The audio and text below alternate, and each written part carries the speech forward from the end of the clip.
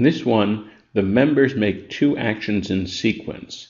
First, they make monthly payments, then they take turns drawing on the funds.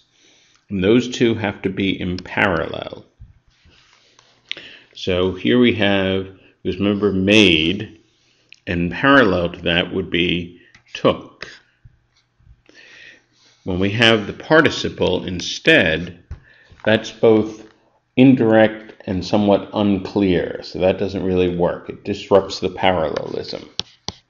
In E, we have made, made the payments and then drew. So this is kind of odd. It's the wrong verb in the second half of the parallel. And then the end of that sentence, taking turns on the funds for home mortgages, that just makes no sense whatsoever. So that E is just a train wreck.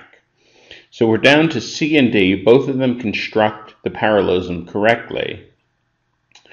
But in D, what we have is then they took turns, comma, they drew on the funds for home mortgages. So we have a comma, and then we have another independent clause with a noun and a verb. This is what's known as a run on sentence to have noun and verb, and then comma, and then another noun and verb because we need something separating independent clauses more than just a comma. We need the word and or something like this.